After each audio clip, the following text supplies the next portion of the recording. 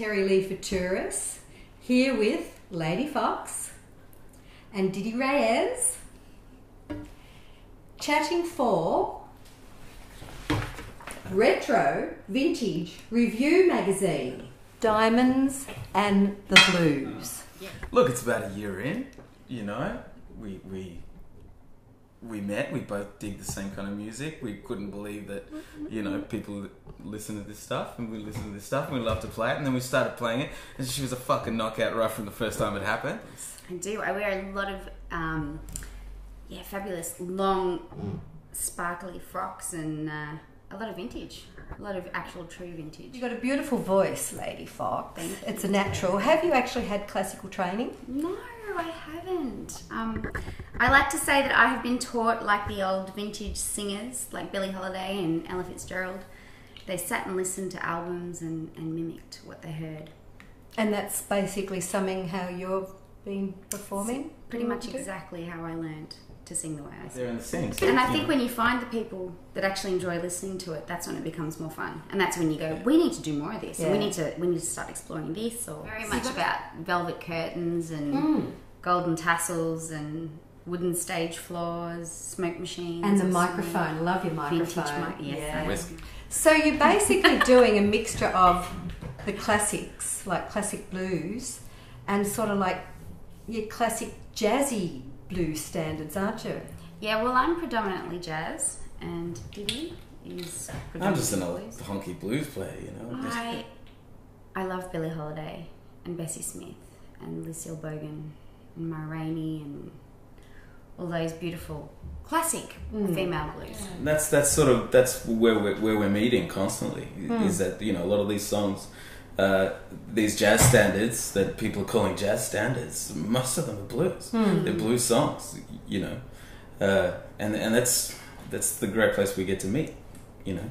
All the Bessie Smith stuff and all the Ella Fitzgerald and all this stuff. Nina Simone, you know, these are all blues songs. You know, these were blues artists. The you got to remember that back then there was there was no word for jazz. The, the jazz wasn't a term. Jazz didn't come around till later, until the until the fucking Americans started coming back from the war with the army bands. They were calling that jazz. you know? Yeah, definitely favour more vintage things. Um, my family asked me a lot, why do you like old things? because old things are cool. Jazz, blue cheese, and gin. I just love that name. You know, I was picturing sort of what sort of blue cheese. I was going literal. What sort of blue cheese would I be eating, and what sort of gin? I thought, yeah, lots of gin and a nice blue cheese and jazz, and it did have that vibe.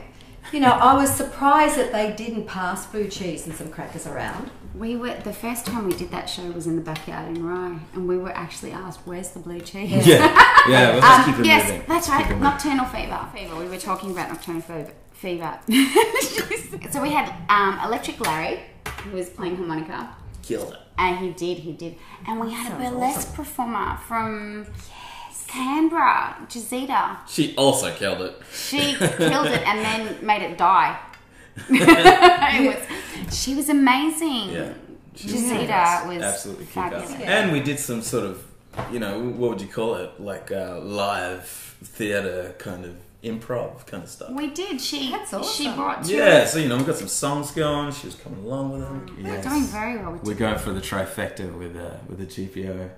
This will We be uh, this will be the trifecta. If we sell out this one, we've that's done three three sold out sold. shows in a row. Yeah, So, all done. so come on down on the fourth of May. Got you interested in this sort of singing? Um, I guess I just listened to my grandparents' music when they'd play music. They didn't have a television; they just had What sort of music was it? Players. Just all the old jazz, Nat King Cole, and I know Frank Sinatra. Was this here? in Australia? Yeah, they they immigrated in the eighties, Mm. and um, I just listened to all their stuff. And my dad was a DJ back in South Africa, so he was always into music. And we didn't have a television when I was growing up either; they couldn't afford one, so he just brought his um, amp and his players and all of his music over, and we just listened to music. What was your upbringing like? What got you into sort of like blues and stuff? I was listening to everyone else, you know, what everyone else was listening to, you know. Um, you know, I loved my rock. You know what? I loved my, my, my rock, and then I got a bit older, and then I really got into hip hop and stuff like that, and rap. You know, I loved, you know, NWA and all that stuff. And but it was later on I'd really come to realize it was the everything that was being put in that music brought itself back to all the stuff I try to play today. Yeah. You know, you all, all, all of the horns and the lines and all that stuff. It's in your blood. I think Music, I think, everybody's yeah. got No, but- music in them. the- what are you talking about? But the Latino bloodline, I mean, it's in your blood.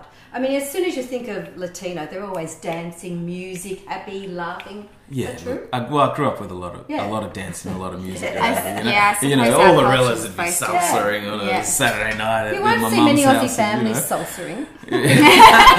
this yeah, this is a deco, but but you know, uh, this this would have been fabricated here in Australia. Yes, look at this. This is just some of them. So people, people, mostly men, I'll say, are, uh, are donating bags of records to Foxy everywhere we play. Right? Uh, when my when my grandfather was still alive, he'd always tell me stories.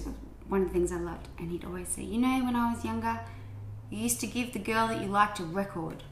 That's what you used to give her. You used to give her a record." And it, So, what's the next step? What have you got planned for this year? Well, we can't tell you. no, we can't. If we do, we'll If you told me you had to kill Can't tell you what's right? really going on. No, we can tell But you we what's can tell you, yeah, yeah, which is we're going to Broadbeach. Oh, yeah, that'll be good. I'm thinking of following you up there just to film you. We've actually Come got a few up, people that are up. that are wanting to come and follow us up. Straight off stage, Woodstock. we're off to Queenscliff and straight onto the blues train the very day, That, that, same very day. night. That same day. We got our own blues train. It's in Queenscliff. You come on down. You can come we'll on be whenever. there. Yeah. We'll be there. Oh my god. We're now filming in Diddy's car. 77 HZ DeVille. You're gonna have to hop in the back. Uh, we just call it the DeVille. Thanks. It's beautiful. Look at this. No, how this nice is is this the is leather interior? interior. Oh wow. That's good. The back's original. Yeah, it is. It's Oh, this different is to the so front. nice. Look at the back. All right, so here we are. Uh, First time I've First ever time been in in the the back back seat. seat of Diddy's car. me too. So tell me about this car. I found this car in Shepparton, and I saw it online, and I was like, I really wanted a car. I, I always drove old cars, uh, and I got like a family car when my kids were born, the BA Falcon Futura, and it was like bright gold, and it was the ugliest goddamn thing you'd ever seen in your life. Uh, never felt more like a soccer moment all my life, and, and, uh, and so I, I had to do something about it. And, and then you know, so I saw this car, uh, you know, it's a HZ sitting up in Shepparton, uh, unregistered or whatever, and I went down there and paid, put it on a trailer on the back with the Futura, and I towed the goddamn thing all the way back. I, uh, I've got a club registered. Oh really? Uh, yeah, and uh, when I put it on club registration, I just decided to start my own club anyway. uh, so I started my own car club, and uh, now I'm the president of Rockin' Dogs Hot Ride Club, and this is the number one member of the car club. Uh, uh, I actually, you know, I bought this car to really do some of these road trips. I've been doing a lot of road trips to, uh, you know, like country rockabilly festivals and stuff, and uh, you know, with car shows and stuff, you know, and I just really wanted to drive my old DeVille out there with my guitar and amp in the back, you know, and and just have these cool road trips and enjoy these festivals. And, and uh, nearly everyone I that I did for like a year, we we broke down all the way there and broke down all the way back. like every festival, right? Every one of them. Oh and no. uh, and uh, it was a nightmare. That's Every every time it was a night. It was hilarious. It was just a nightmare. so what's the But, fastest um, it goes? Well, uh, in in in in spite of all that stuff Yeah. happening, I've chucked the money in, and now I've rebuilt the motor from from top. So it to won't bottom. break down. No, it's got a, like a brand new motor in it now. It's kick ass, man. It's So- been delightful. I think rather than call our little interview like we could nearly do our own jazz blue gin and um, blue, blue, Blue cheese, cheese and and gin. gin. I'll get it all right soon. I wonder what's making me slur. I don't know. so what shall we call this little interview? Like it's um, spaghetti marinara, which was very yummy, by the way. thank you, thank you. He's Uh, an excellent chef. You know, Excellent. I I, uh, I nearly smoked burnt the, papri- I nearly burnt the kitchen down looking for you Corn at on the the front cob. You Do you- did, when you rang me and you were nowhere to be found. I- I Twilight Zone episode. I came back. I came back. The house was full of smoke. Definitely Twilight Zone. The stove on. That's what's going to happen when you leave the stove on. And looking for away. Terry in the suburbs. Just give your EP a little plug. What's it called? Oh, Doghouse Blues. Our Yeah. EP. It's only got four songs on it. but That's it's all right. Just a little jab, just a little How jab. can they get it? Our, We're uh, What's the best place? Where's the best Uh, contact you gotta to come to a, gig. you gotta come to a Gotta show. come to a show. You we put it online once. and we've taken it off. We've We taken have. the stance. We uh, we, it's geographical, man. You had to be there. Well, how You do people follow there. you then? What, what's the best contact, social media contact? Uh, we have Diamonds in the Blues Facebook, Diamonds in the Blues Instagram. There's Diddy Reyes Instagram. And Diddy Facebook. Reyes is spelt Uh, D I. It's just like Daddy, but with an I. Yeah, Diddy and R E Y E S. that's yeah, right. I- yeah. I've got a website now. You do, I that's got a right. web. Get on the website. DiddyReyes.com. Cool. And uh, DiddyReyes.com. As long as I about pay you? my Wix payment, that website will always be there. So you come on board, I'll come. Excellent. I'll make sure I pay the the thing. The Wix thing. Yeah, Mm. yeah. uh, I'm Lady Fox Performs. Everything is Lady Fox Performs.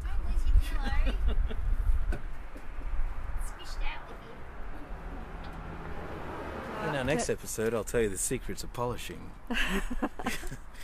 Bye. Bye, Thanks Australia. for joining us.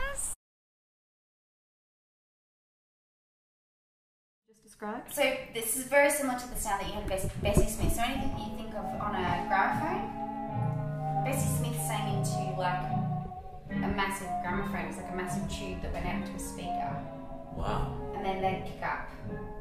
What So I in a theatre? No, just in a In a room. studio. In a studio. That was their studio. Shall we continue with Exploding kittens. Sounds good. Like live game um, now. Are we making? I think we're making this up as we go. We are. Um, you, you may you may pick up a card. There's nothing I can do here. What'd you get? I thought we were having an open game. Oh, cattermelon. Cattermelon. Yes. Also, another completely useless card in the That's, deck. that's exactly what I thought. You're a taco cat. That, that's pretty cool, man. Is that yeah? All right. A Taco cat. is not cool. A Taco cattermelon cat's pretty cool. Just seems very Can my strange. taco cat do like a taco on you? Please do. Okay, so this is how it goes Ah, down, right? yeah. Uh, Um, I'm still learning. I don't know what you may go. All right. So I like this. is Must be something. French fruit song. come on, surely I should be able to do something with big cat. that One of those things. It's yeah, yeah. So it's just that it's just So I've got my hand of shite. it's really weird. You know. He looks chilled, doesn't he? Little chill dude. Bearded cat. Can you see the cat? get it. Yeah, I can see the cat. Oh, is it my turn? Mm-hmm. Yeah. Bang! I just got an exploding kitten. Ooh. Hey!